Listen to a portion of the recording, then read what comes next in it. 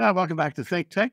This is Community Matters, different kind of community today, though. The title of our show is You Are What You Eat. You've heard that before. But this time it's You Are What You Eat if you can find it. And it's about fruitarianism, which has defined the life of our guest here today, Ric Rocker. Uh, it's a study of how to live on indigenous foods. And we're going to discuss this with him because he has devoted a lot of time and energy and philosophical mm, expression to this subject. Uh, welcome to the show, Ric. Thanks very much for having me. So the first thing I want to know is uh, is your 1968 arrival on these shores, uh, how you got here, and who you were at the time. And by the way, we have pictures, so we know what you looked like. that was actually a lot later than 1968. But. I came here, and in 1968, I didn't know anybody who had ever been to Hawaii. And I was having dinner with some woman, and she described this whole scene and told me that I should go to Maui. And I asked her what Maui was, and she said, Maui's an island in Hawaii. And I said, Well, my geography textbook had one dot, and it said Hawaii. And I didn't realize there were any other islands.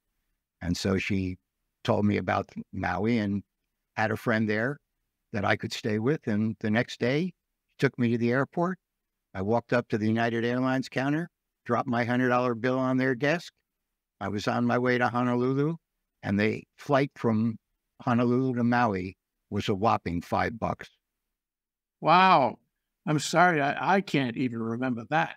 But you were in an Ivy school you you were um, either a graduate or dropout of an Ivy school, so you came with a, a certain mm, kit bag. What was your orientation at the time that you should go to the go to Maui? Well, I was eating raw foods, and Maui was a place that had a ton of fruit, and I had never had a fresh mango, a fresh papaya, any of these things, and I was fascinated to be able to have access to these foods and so I went to went to this guy's house that I could stay at in Kihei, and I started just cruising around the island and eating fruit. So why fruit? I mean, what is it about fruit? It's uh, it's been an important thread in your life about fruit. Why fruit? Well, this is getting into another story. When I first came over here, I got arrested, and um, when I, I got arrested with this guy who's become my lifelong best friend, and when we got arrested, you know that brings people together, doesn't it? Uh-huh. You get arrested together, you make and, lifelong friends. And and this was a time where there was no cell phones, so to be able to show up in court together, we decided we had to live together. Otherwise, we'd never make it to these court cases. So we ended up moving in together, and we were thrown in jail. and we were denied all our constitutional rights. And the American Civil Liberties Union read about it because I took it to the media and they came over and they bailed us out of jail and they fought our case to the Hawaiian Supreme Court, which took two years. And when we got out of jail, we had no money and we couldn't leave the island.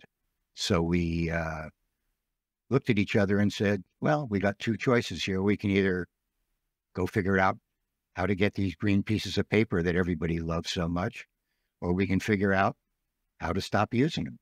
And this was 1968. And so we So said, what were you arrested for? We were arrested for a law called common nuisance. And the statute read that we had to commit an act that was against common decency and or common morality. And um, I don't think we ever did that, but the courts found us guilty the circuit court found us guilty. The district court found us guilty. The Hawaiian Supreme Court found us guilty. And we appealed to the United States Supreme Court. And they said that it was too trivial. And I said that this was the first time I had agreed with the courts. and so this guy and I, we got out of jail. We decided, hey, we're not going to use money. And then we looked at each other and we said, okay, here's what we're going to do. We're going to eat only what we can gather with our bare hands, eat in its unadulterated form, the way we found it, unseasoned, uncooked, and uncombined and enjoy it. That was the rule. And if you apply that axiom to nature, pretty much all you can eat is fruit. I mean, I literally sat on the side of the ocean for hours until I finally caught a fish with my bare hand and I threw it in my mouth like a bear would. Didn't taste very good. Interesting. But you need protein, don't you? I ate nothing but fruit for three and a half years. And the well, it must be the most decent protein in fruit. well, I don't know. You know, there's all these words. Cows eat nothing but grass. You know, they get meat built on their bodies. I don't think you need to eat meat to become, you know, healthy and alive. Okay, but it didn't stop there, did it? Um, you you were eating fruit for three and a half years, and then you you made a, a trip for additional fruit, right? Can you talk about it? Well, we basically, you know, we did uh this trip for for a prolonged period of time on the Big Island, and then when the whole thing was over, we decided that we wanted to find a place where people still lived. In, and this is when I started eating cooked food. Um, we wanted to find a place where people still lived in the real old style, and um, this was the first year that Continental Airlines flew a route called Air Micronesia, and they went to all these little small islands. And we ended up on an island called Ponape, which was, to me, the most remarkable place I ever had been in my life. Was was there a dot on the map for Ponape? I don't know. When we got on the plane, we were the only white people on the plane, me, my wife, and my little baby. And the rest of the plane was all islanders. And when the plane reached cruising altitude, the guy in front of us stood up, picked up our little white baby, and passed this kid down every row so that everybody in the entire plane could hold this little white child. And I looked at my wife and I said, We made the right choice. Yeah, this is where I want to be. So yeah, I mean, that tells you a lot about the people. What what are the people like? What were they like? And I guess to the extent you followed them since that time, what are they like? Well, what are they like? I don't know because I haven't been there since 1972. What were they like was they were the most wonderful people I have ever met in my life. They were incredibly industrious. They had been conquered by the Japanese in 1914 and were freed by the Allies at the end of World War II in 1945. But when they were freed by the Allies, they sort of said to the Allies, thanks. See you later. We have our trip together. We don't need you guys. And they went back to their traditional lifestyle. And that's when I bumped into these people.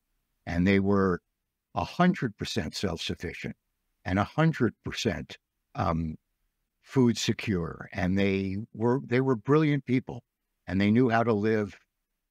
They just knew how to live. And when I got there, I said to these people that I'd been looking for a mentor all my life, and I had never found anyone that I wanted to let mentor me. And yet I could take all the men on this island and put them in a circle and spin a bottle, and whoever it pointed to could be my mentor because all of these men knew the same things. And they knew what I wanted to learn, which was how to live sustainably on the islands. So uh, the fruits in Ponape are different than the fruits on Maui or the Big Island. What kind of fruits did you find there? Well, Ponape wasn't about fruits at all. Ponape was about carbohydrates. Um, there were fruits on Ponape, but they were insignificant to the Ponapeans. Um, what what they lived off of was carbohydrate-rich starches, which were breadfruit, taro, a plant called uhi in Hawaiian, which is a canoe plant that is almost forgotten here, but is the true yam, um, tapioca, sweet potato, banana, and then coconut. And between those plants and fish, they survived wonderfully. Oh, you're telling me that breadfruit is not a uh, not a fruit? I guess I guess breadfruit is a fruit. I you know I don't think of breadfruit as a fruit, but I guess it's a fruit. And um, grows on a tree, but it's ulu, uh, ulu, right? Ulu. But breadfruit, ulu, is not what nature gave to humans. What nature gave to humans was bread nut, which is a breadfruit with seeds in it, like any other fruit that you could propagate by seeds. And in each of the cultures in the Pacific, some groovy farmer selectively bred the seeds out of seeded breadfruit until they created ulu, breadfruit without a seed, an asexual plant that cannot be planted by seed and must be planted by taking the genetics from the tree and coercing it to grow. So tell me more about your interaction with the people there, uh, what they taught you, what you taught them, maybe. Um, and I didn't teach them any. I, I, I taught them what not to be like. Um, these, these people were brilliant. I mean, you know, these people were very simple. They had three different styles that related to eating. One, you could never eat alone.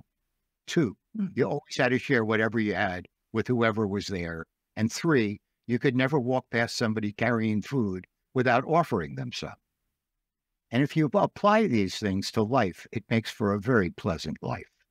And these people were just, they were very pleasant people and they were very smart people in knowing how to take care of themselves and grow the foods and prepare the foods that they needed. So they didn't need anything, any imports from anybody, and they were totally self sufficient. So can can we look at that picture again? Is that a picture taken in Ponape? No, that was a picture taken for my middle son's first baby luau. That was taken. He's 42 now, so that was taken 41 years ago. And you can't blow up on this picture, but if you could blow up on the picture, I'm sitting in front of all the foods that I have made movies about. And so I have been eating these foods since 1972, and I have been trying to encourage people to eat these foods because they grow here. Um, and, you know, I see all these seminars and focus groups and all this stuff talking about sustainability and food security in Hawaii as if it's something that we have to figure out. Didn't have to let's, talk, let's talk about that. Uh, for, but first, I want to ask you: the picture is that the real you, or is the real you joining us today on Zoom? They're both the real me. I still do this now. I'm dressed up for the for this interview, but I don't normally wear, you know, Spiff Street clothing. I, I live pretty simply, and I still grow or gather a great percentage of what I eat. So, so um, this morning before I got on the phone with you, I harvested a stalk of bananas on my property here. I have lots of fruit grown. Beautiful. Um, so talk more about um, what you did when you came back from Pohnpei and how you got to make films and write cookbooks um, and develop uh, uh, a real estate practice and a, a, website that sells all kinds of stuff, but not in, not including sarongs. I don't even know I have this website, so I'm going to have to figure this out after the show. But basically, when I came back from Pohnpei, I wanted to recreate everything I had learned from these people. And I wanted to grow these foods. And so I recreated, I got a, I got a kuleana in Honaunau. And um, I planted basically all of the foods that I've made movies about, except breadfruit, because breadfruit doesn't grow at the elevation of where my farm was. And I grew breadfruit on, another, on a Bishop lease um, down on Rock Bottom Road that was at a lower elevation. But I grew the traditional food plants and I I tried to teach people as best I could how to grow these plants and how that they could be more self-sufficient um, while they were living here. And you know, it, it, it's funny. It's like Hawaii. Hawaii realizes that we have a problem in that we don't have food security here we have very little food growing in relationship to what we would really need if there was a disruption in the food chain. And um, and so there's all this talk about food security and food sustainability. And it comes across as if, like I said, as if it's something that we have to figure out. We don't have to figure this out. This has been figured out on every island in the Pacific, including Hawaii free contact. All we have to do is look back and say, how did these people live? What did they eat? And if we just find what they ate and reproduce it, we'll have food security. And I don't think that, that sustainability is a supply side issue, which is the way all these focus groups act. They act as if there's not enough food growing here, which there isn't. But that's not the problem.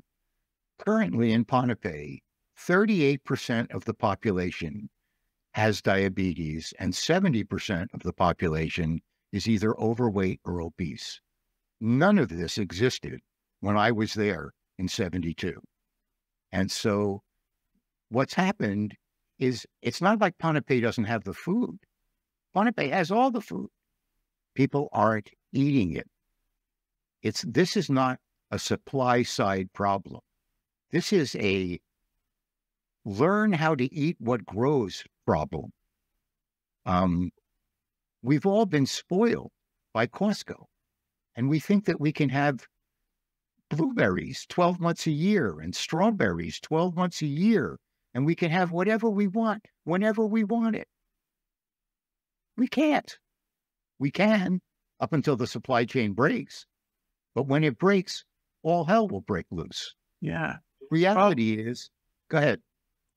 When um, but when when you talk about we, you talk about everyone. When you talk about the people in politics, talk about everyone. But it's hard to get everybody to do that um, because we're you know we're acculturated to um, foods that are not healthy. And 90, 90 you, you told me that something over 90% of our food is imported. And, uh, and, and therefore we've kind of given up you know, cultivating it ourselves. We used to be an agricultural state, but we're nowhere near that now. And I and I think it's hard to change the way people operate. And sometimes, you know, you have to have a bad time to teach you an important lesson. I think we're going to have a, a bad time to teach us that that lesson. And, and you you have this movie. I like it very much. The movie I looked at it. It's very professional and it's very watchable and it's very educational. Um, and uh, uh, you know what? What? How can I find that movie on the web? Is it is it available? How it's, can we actually I, see it? I, I made the movie with Kahilu Theater, and if you go to kahilu.tv, it will take you to their website. And if you go to their search bar and you just type in Ulu, the other four episodes that I've made are already shot. They're all in post production and hopefully we'll get them out there soon. Okay, you re- you wrote a cookbook. I, I find writing necessarily a cookbook, but I, yeah. I, I, I, I basically copied the recipes that I learned in Ponape. None of this is my stuff. This is all copying. Am I going to enjoy the, the the the taste of it? Because my palate is kind of ruined by foods that are not so healthy. How, how am I going to react? it's funny. I cook, I, I sold real estate to wealthy people at a period of time in my life.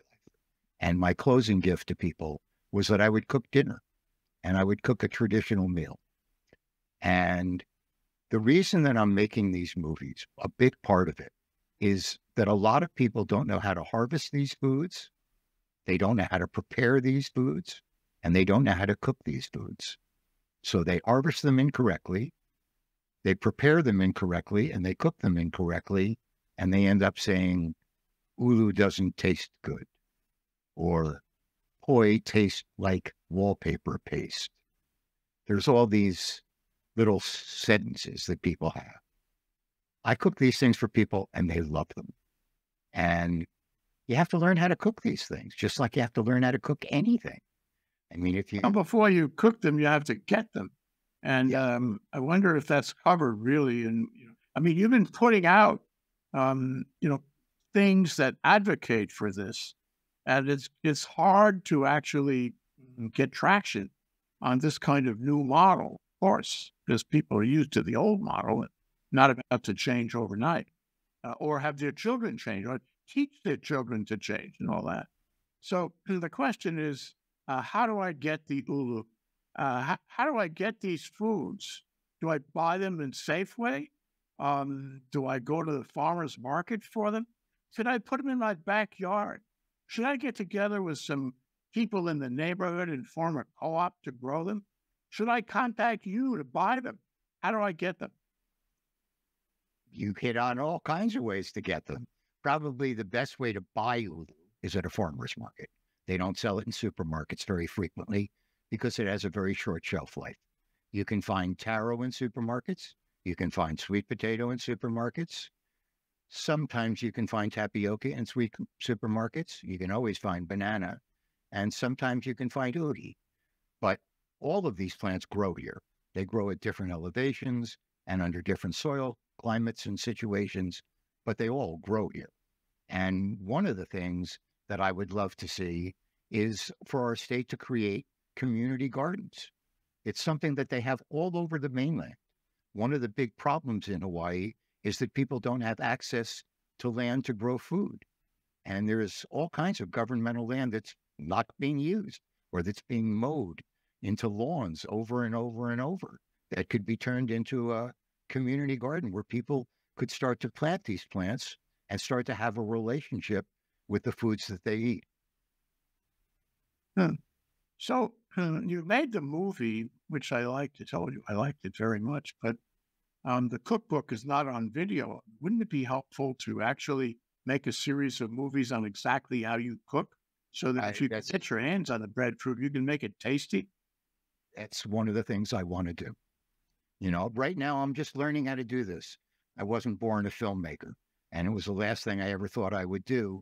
But this one particular plant, uhi, which I adore, and which in Ponape is called kep. And in Ponape, kep is the most important food plant. And a man's status on the island is determined by how well he grows this one plant. And it's this, you know, are these plants like uh, a chocolate mousse? No, they're not like a chocolate mousse. They're like mashed potatoes. They're like starches. These are simple plants. And uhi cooked in coconut milk, I call tropical mashed potatoes. Sort of tastes like mashed potatoes, but you don't need butter and you don't need cream and you don't need anything. You just need uhi and coconuts. And the man who's the star of my uhi show, and who's a man named Leslie Sakona, who's just a wonderful man from Tonga, is getting old. And at some point, he's going to stop growing these plants. So, and, Ric, what what about the notion of of synthesizing?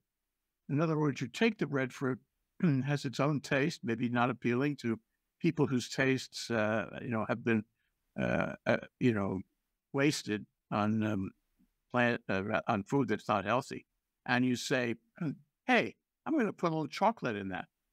I'm going to put a little other food that may not be so healthy as breadfruit. I'm going to mix it all up. So I'm going to wean them, you know, off their existing diet and and move it into breadfruit. And over time, maybe they'll appreciate breadfruit a little more. What do you think? That's what there's a uh, there's the Hawaii Ulu Co-op, the breadfruit co-op that's on was started on the Big Island and is now, I believe, on all the islands. And the managing director is a incredibly wonderful and dynamic woman named Dana Shapiro. And they have produced breadfruit chocolate mousse, which is delicious, and breadfruit hummus, which is also delicious. And Dana's major challenge is trying to figure out how to get this plant that has a very limited shelf life from the tree, from the farmer to the co op, to production, and out to a consumer in the in a timely manner. And it's a difficult challenge. And she's created frozen products and she's created these other products. And I'm sure there's more in the pipeline. Yeah, maybe that's the website I saw. Um, Very possible. These, you know, integrated ingredients. And so I, I want to talk about policy for a minute, if you don't mind. So 92% of the food comes here. The other thing that's happening, uh, and I'm sure you're very sensitive to this, is is climate change. And um, you know, where we see these storms and floods everywhere, everywhere, and for the past ten years at least, and and we we don't connect the one with the other. But in Hawaii, we really better do that because we could have extreme weather, uh, ocean, sea level rise, what have you, all kinds of mm, uh, you know disaster things that will ruin our economy and, more importantly, our food chain. And so we really have to do something. We have been talking about diversified agriculture since the plantations closed because we have all this land and you know all these all these elements that we could use, um, but we haven't done it. And, and the efforts of the government to actually encourage and incentivize this have been uh, weak. So the question is, where do we go from here on a macro basis? Not just the truck farms and you know a, a handful of farms, not just the, the farmers market, not just um, you know a website with exotic combinations, um, but but you know feeding the people, making sure there's a backup food so they won't starve when the supply line is cut in an extreme storm or other um, disaster created by climate change. Well, you know, it's like we import 80 to 90% of our food, but we import 99.5% of our carbohydrates, which is basically white rice and white potatoes. That is what has to be replaced if we are ever to have any semblance of food security or food sustainability in Hawaii. And it's like I said, I look at all these shows. I watch this PBS show and it was talking about different things and it was showing different farmers increasing their production of X, Y, or Z. The reality is, we're never going to be sustainable eating arugula. We're never going to be sustainable eating broccoli. Sustainability comes from carbohydrates. And the carbohydrates that I'm making these movies on are the ones that grow readily and easily in Hawaii. And after doing research in Ponape and seeing that even though the people had these foods, they weren't eating them. This all has to start with education. Somehow we all have to humble ourselves and get off our egos that we as human beings can have whatever we want. It's not true. We can have what the Aina provides us. That's true. And the mm-hmm. Aina is very gracious and very giving if we will just pay attention to her and listen. And these are the plants, these plants that I'm making these movies on ulu, kalo, uhi, kapioka, uala, maya, niu. This is what will save Hawaii. And our government should be planting these plants instead of planting abstract trees wherever they have properties. You know, I watch the DHHL give out leases in, in South Kona. Why isn't there a breadfruit tree on every lease? Why isn't there a coconut tree on every lease?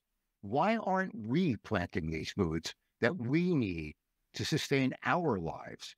Why are we just going to wait for that catastrophe, that bad news, so that we can learn that we weren't prepared?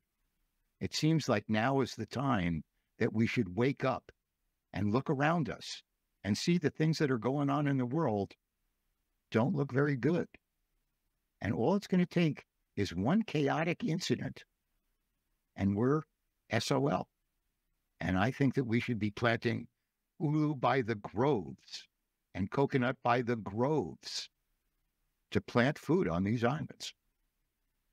Oh, DLNR could, uh, you know, write that into its leases that wouldn't require a, a, constitutional amendment. All it would be is a regulatory thing.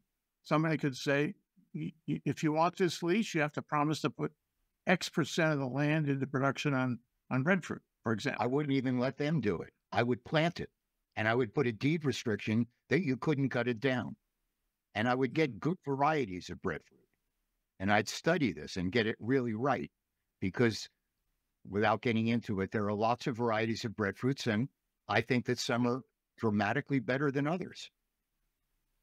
this raises an interesting question. You know, in Kalo, years ago, the university uh, developed uh, using uh, what do you call it, genetically modified uh, crops um, to create a new kind of kalo that was resistant to all diseases that affected kalo. And um, and they patented this as a as a, plant patent, which you can get. And the Native Hawaiian community opposed that, said that kalo should belong to everybody. Um, and so um, the university actually surrendered its patent. Uh, it, it, tried to transfer the patent to Native Hawaiian organizations, and they said, "We don't want any patent. We want you to, you know, make the patent disappear." And they did. Uh, the problem then is that the this particularly attractive kalo plant was now in the public domain, and you know, it just it wasn't protected, if you will, because for the lack of a patent. Um, and so I, I worry about, um, and this happened with papaya too. You know, there was a guy actually on the Big Island. He was trained in Cornell, um, and then he came back and developed a, a GMO a papaya, which saved the industry because they were suffering. And so, if you go big, you know, breadfruit or any other plant, you have to worry about its natural uh, enemies. You have to worry about, um, you know, finding a way to make the plant sustainable and, and not and not succumb to the natural enemies. So, what can we do about that? If we're going to do large scale production of ulu and kalo and other things, how do we protect protect the, the better variety? Well, it's funny in Ponape, they had so many ulu trees. I mean, I always say to people that the reason that people can't figure out what sustainability looks like is because they've never seen it. If you haven't seen it, it's hard to imagine it because to be sustainable, you got to have a lot of food. So in Ponape, they had a zillion ulu trees and a zillion coconut trees. They had no diseases whatsoever.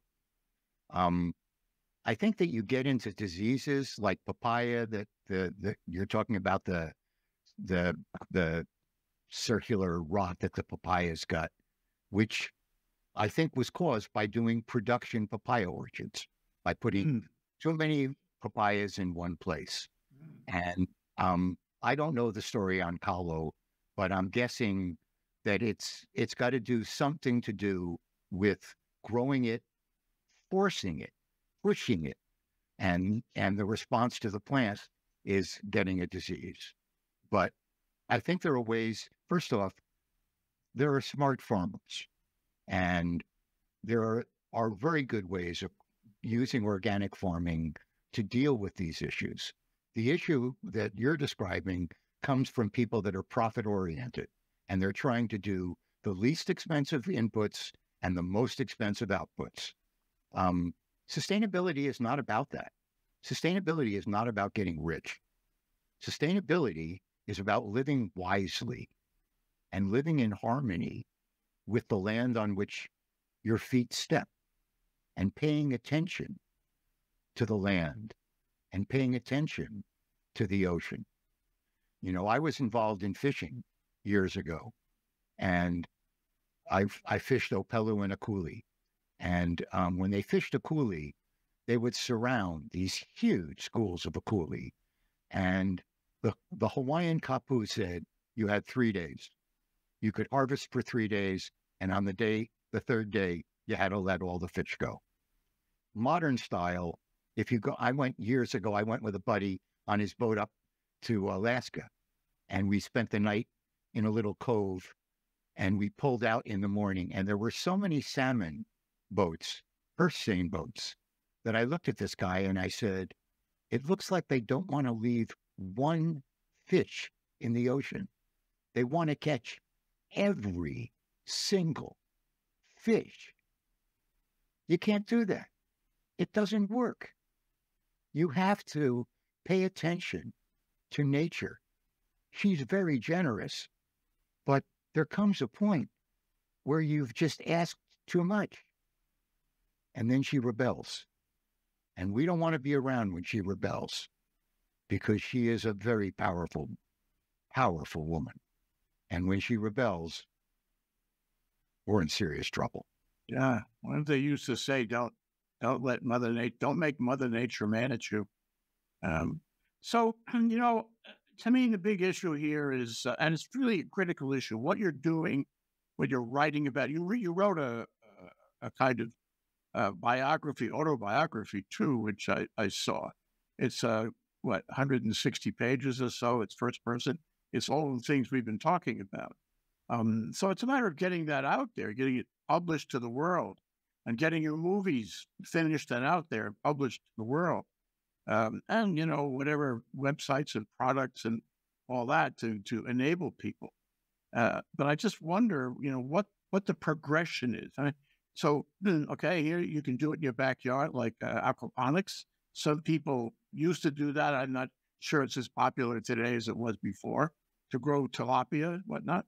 Um, and you could have restaurants, and there were a couple of restaurants in Waikiki, uh, you know, that that used uh, only natural, local grown food.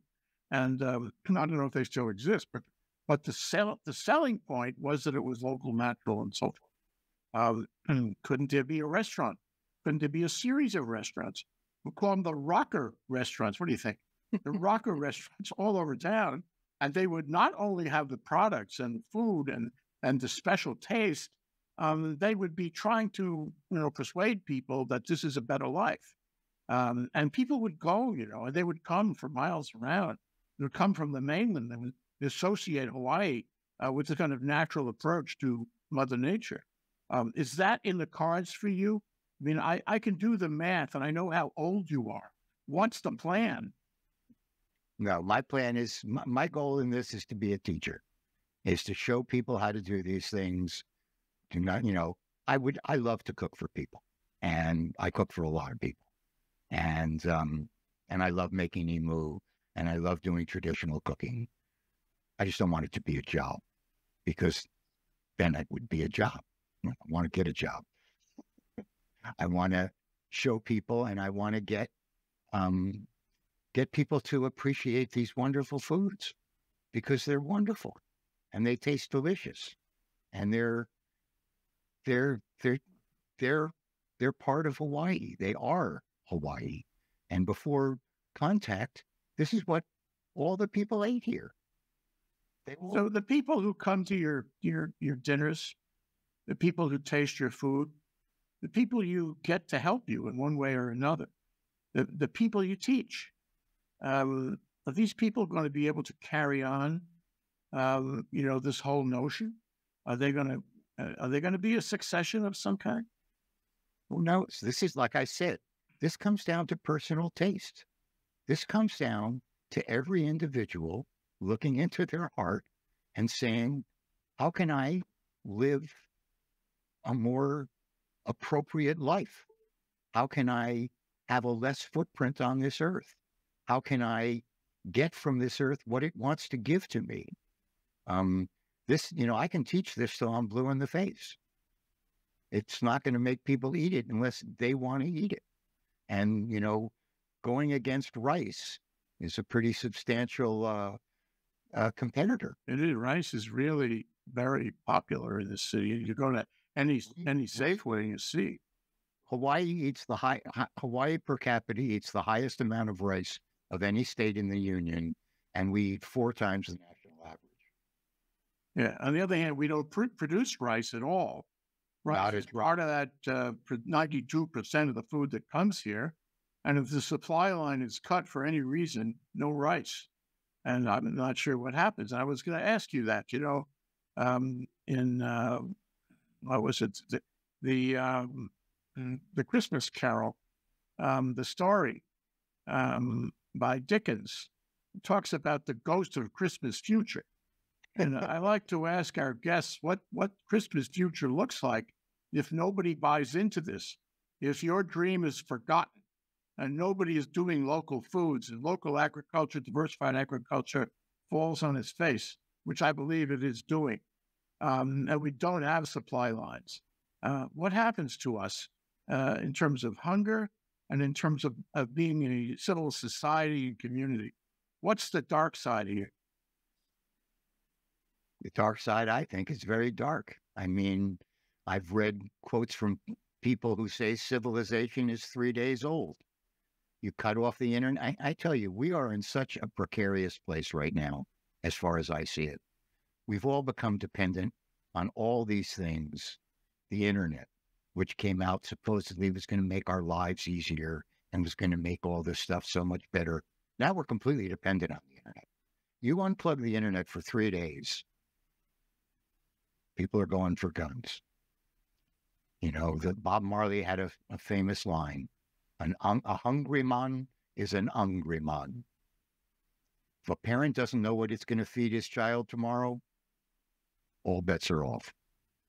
I think this is, I'm going to say it. I think this is upon the government of the state of Hawaii to wake up and to take care of its people, us, the residents, as opposed to the tourists who come in here by the droves and we got to feed and do all these things for.